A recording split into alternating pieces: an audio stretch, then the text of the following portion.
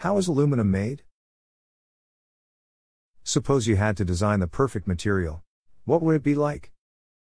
You'd probably want it to be plentiful and relatively inexpensive, strong, and lightweight, easy to combine with other materials, resistant to heat and corrosion, and a good conductor of electricity. In short, you'd probably come up with a material like aluminum.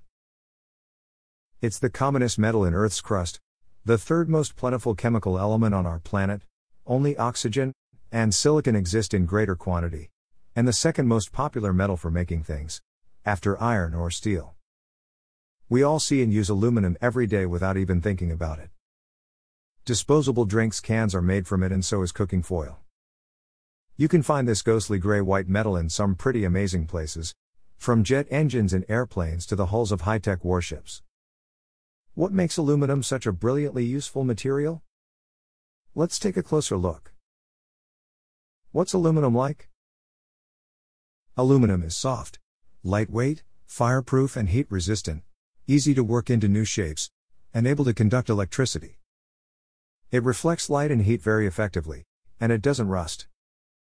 It reacts easily with other chemical elements, especially oxygen, and readily forms an outer layer of aluminum oxide if you leave it in the air. We call these things aluminum's physical and chemical properties. Alloys Aluminum really comes into its own when you combine it with other metals to make aluminum alloys. An alloy is a metal mixed together with other elements to make a new material with improved properties. It might be stronger or it might melt at a higher temperature. A few of the metals commonly used to make aluminum alloys include boron, copper, lithium, magnesium, manganese, silicon, tin, and zinc. You mix aluminum with one, or more of these depending on the job you're trying to do. Composites Aluminum can be combined with other materials in a quite different way in composites. Hybrid materials made from two or more materials that retain their separate identity without chemically combining, mixing, or dissolving.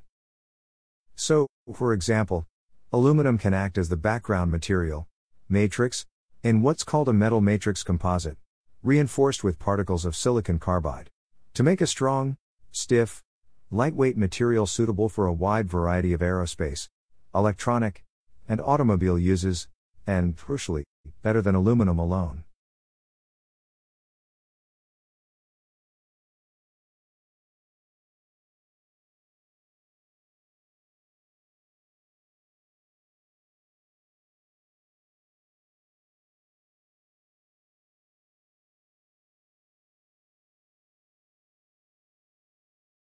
What's aluminum used for?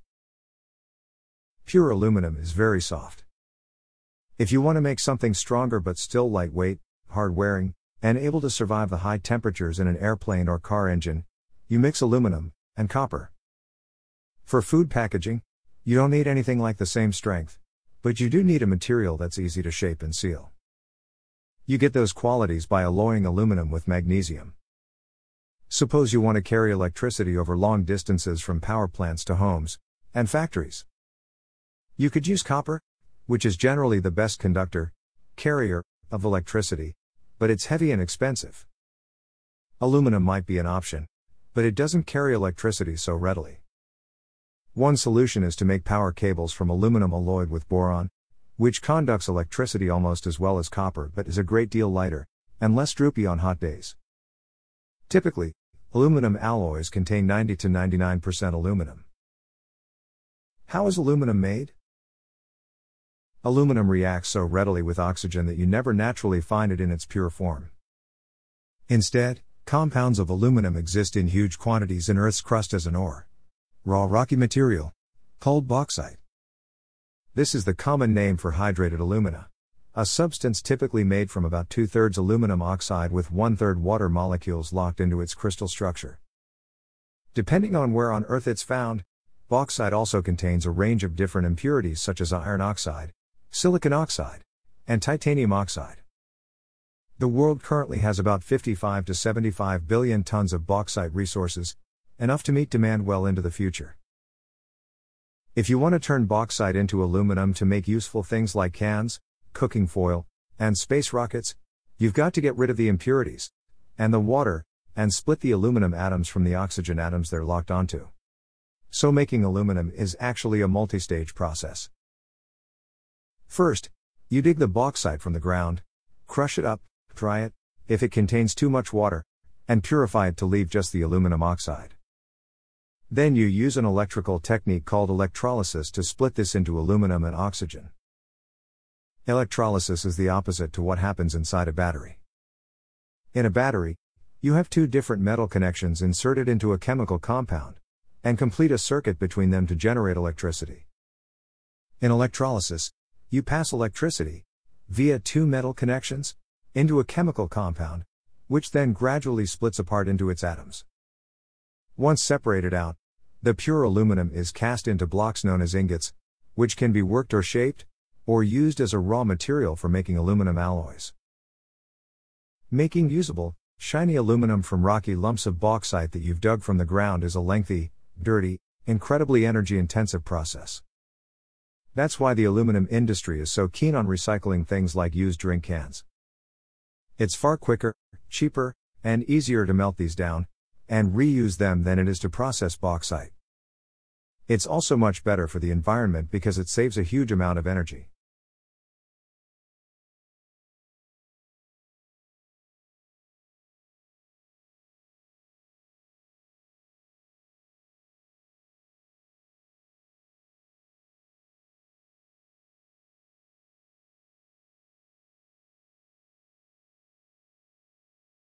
A brief history of aluminum. Who discovered aluminum, how, and when? Here's the story as it happened. 1746. German chemist Andreas Marggraf, 1709 to 1782, realizes that alum, a natural aluminum compound used for dyeing textiles since ancient times, contains an unknown metal. It's aluminum, of course, but he doesn't know that. 1809, English chemist Sir Humphry Davy, 1778 to 1829, names this metal aluminum, and, later, aluminium, but is unable to separate it out. 1825, Danish chemist and electrical pioneer Hans Christian Ørsted, 1777 to 1851, turns aluminum oxide into aluminum chloride, and then uses potassium to turn the chloride into pure aluminum. Unfortunately, he cannot repeat the trick a second time. 1827. German chemist Friedrich Wöhler. 1800 to 1882, also makes a small quantity of aluminum by heating aluminum oxide with potassium metal. 1855. French chemist Henri Saint Clair Deville, 1818 to 1881, uses sodium to separate out aluminum. Since sodium is cheaper and easier to obtain than potassium, Deville is able to produce more aluminum, enough to make an ingot. He puts this on display at a public exhibition in Paris, France. Deville's new method means aluminum starts to become more widely available, and the price begins to fall. 1886. Working independently, the American team of Charles Martin Hall, 1863 to 1914, and his sister Julia Brainerd Hall, 1859 to 1925, and Frenchman Paul Louis Toussaint Héroult, 1863 to 1914, Discover the modern method of splitting aluminum oxide with electrolysis to make pure aluminum. Their highly efficient technique, known as the Hall-Héroult process, is still used to produce most of the world's aluminum today. 1888 Austrian chemist Carl Bayer, 1847 to 1904, finds a less expensive way of turning bauxite into aluminum oxide, the raw material needed for the Hall-Héroult process. Together, the Bayer and Hall Héroult processes drastically reduce the price of aluminum, enabling the metal to be used in much greater quantities.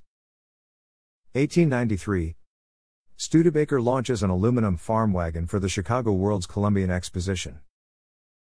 1899 A Dürkopp sports car with an aluminum body is unveiled at the Berlin International Motor Show. A few years later, the Pierce Arrow Motor Car Company produces its cars with cast aluminum bodies. 1901 Motor pioneer Carl Benz produces the first aluminum car engine. Early 1900s First aluminum recycling programs. 1913 Aluminum foil first produced. 1920s Modern aluminum alloys begin to appear. 1925. American Chemical Society officially changes the name from aluminium to aluminum in the United States. 1946. Aluminum is used for the bodywork of the lightweight, mass produced Panhard Dyna X. 1957. The first aluminum power lines are introduced. 1959. Coors produces the first all aluminum drinks can. 1975. Daniel Cudzik invents the stay on ring pull tab for drinks cans. 1990. The International Union of Pure and Applied Chemistry, IUPAC, officially adopts aluminium as its spelling. 1994. The Audi A8 sets new standards in lightweight car production with an aluminum body framework weighing just 249 kilograms. Almost half the weight of a comparable steel shell. 2015. Ford launches an all aluminum bodied version of its hugely popular F 150 truck.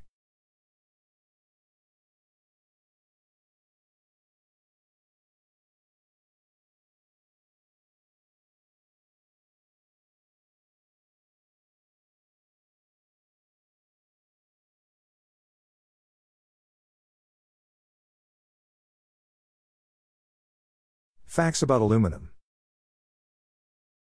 8% of Earth's outer crust, by weight, is made of aluminum. A block of aluminum weighs one third as much as a block of steel the same size. Aluminum foil is typically less than 0.15 millimeters, 0.0060 inches thick. Pure aluminum reacts rapidly with air to form a rust proof protective layer of aluminum oxide. Many cooking pots, pans, and tools are made of aluminum. Packaging represents about a fifth of all the aluminum used in the United States. It takes around 2 to 3 kilograms of bauxite, aluminum ore, to make just 1 kilogram of pure aluminum metal.